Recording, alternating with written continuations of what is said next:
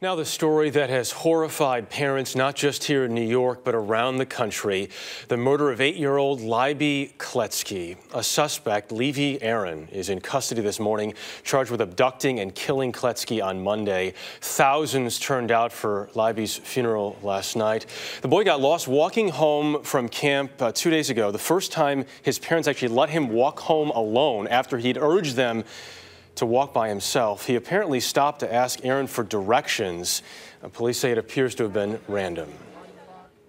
There is no indication at this time that the victim was known to the suspect previously.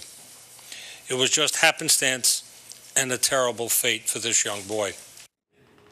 New York police used surveillance video to track down leads and eventually got to Aron's apartment, and police say that Aron has given them a confession now.